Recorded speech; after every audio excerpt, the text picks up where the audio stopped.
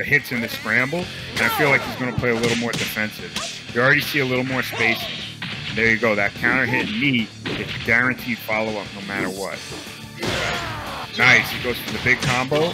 All right, it's a medium combo, but it's very good. So it's nice damage, consistent stuff. I like to see it. Joetaku is playing Pai. Pai is a very tricky character. In this particular match, you're going to see one of the features of VF that's really, really, really radically different than a lot of games. Even though the 3D games that have weight classes, the weight class in VF is very dramatic. You are going to see Pai fly straight up off the ground, way higher than other characters do. As a result of that, you can get way more damage on a character like her, a character like Eileen or El Blaze, who are super lightweight. These characters go way up, and they take a lot of damage. You can score lots of extra hits before you bounce them off. So one of the nice things that you're going to see Hubbs take advantage of is every time that he knocks her up, he's probably going to get bonus damage on her. Um, one of the nice things uh, Pai can do, though, you might say to yourself, well, what's going on? Why does she have that Whoa, wow. yo, great, great Alice SSB donated $100. Big donations. Big donations. Damn, he donated, Alice SSB donated a ton last week, too. Thank you so much. Yeah, yeah, he definitely went in. Oh, VF fans, I love it. So yeah, no. Um, one of the nice things that Pai can do, just so that you don't feel like, oh no, what is, what, why she have that weight class disadvantage? She has like a lot of different frames on her moves. She's a lot faster with a lot of things. Her damaging, her more damaging pokes and launches tend to be more effective in more situations. She has stances, so she can mix you up off of a lot of different things. And her, you know, she has a lot of options. So the character, the way that the the balance kind of ends up working is that even though the super lightweights take a lot more damage, they tend to have other fe- features that will make up for it. However, on a stage like this, this is very difficult. This is what you're going to see called these the taco stages. There are two of them; they're identical. You got the red and the blue. So we have the uh, nacho cheese and the cool ranch.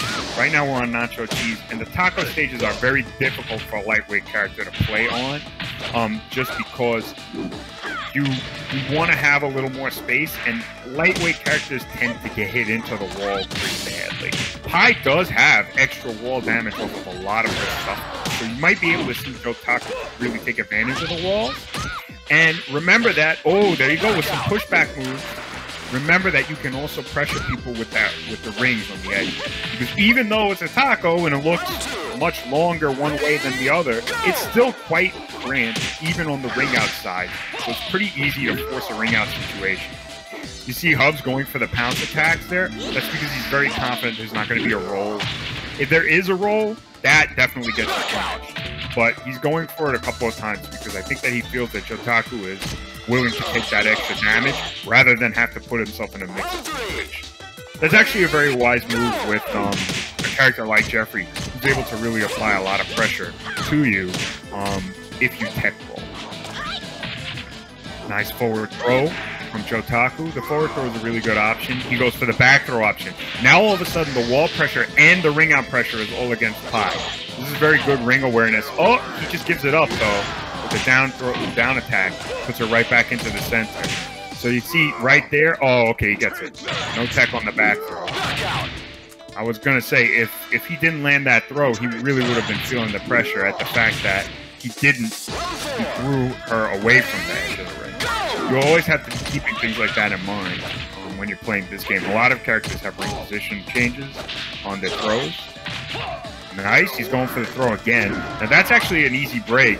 Um, so if I'm if I see that Hub likes to do it, I'll definitely break that, you know. So that's something that Joetaku can think about. Goes for a small wall combo, still gets some bonus damage. This has actually like been a really good showing of a different style of Jeffry. So you can see automatically that you can play VF and you can really play many different styles, even on the same character. We have two other Jeffrys in this, including myself, and all four of us will be playing differently. So that's pretty good. Um, very cool, guys.